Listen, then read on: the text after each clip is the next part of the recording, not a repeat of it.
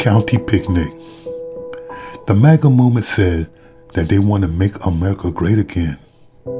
Could you tell me at which time in America history was America ever great? Was it this time? Let us know. Oh yeah. If you like what you hear, please hit the like and subscribe button. It would truly be appreciated. And I thank you. We also look forward to your comments, whether it's good or bad. Thank you.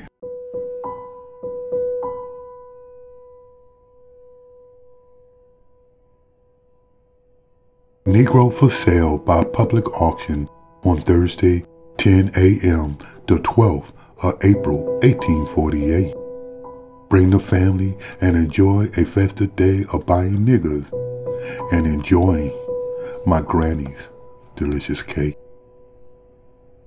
25 field hand trained at hoeing, chopping, and it's a peaceful lot.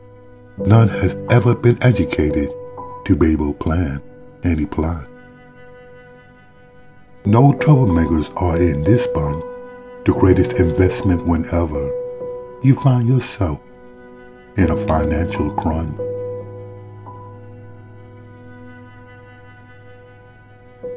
Eighteen women, eight with future insurance, a must if you need a heifer with sexual endurance.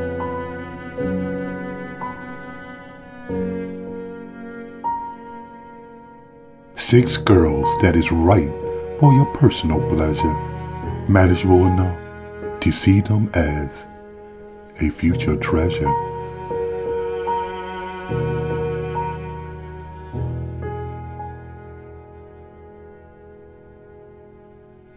One female, a superior cook, and an excellent seamstress, also for sale at one o'clock. A must if you plan to feed your flock.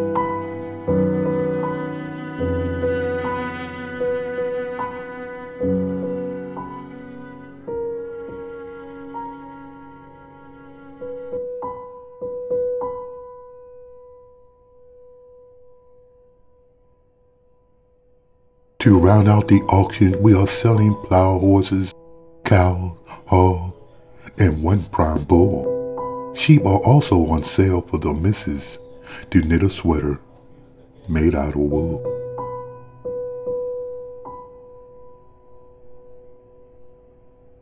For a festive day, meet us at O'Donnell's Auction House, 2 Columbia Street, South Carolina, with excellent food.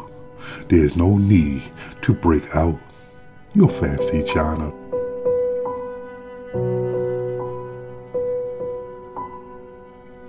So come one and come all. This is something you must see. Who knows?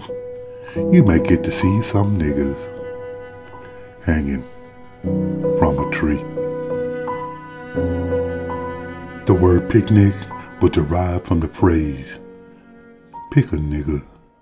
Too let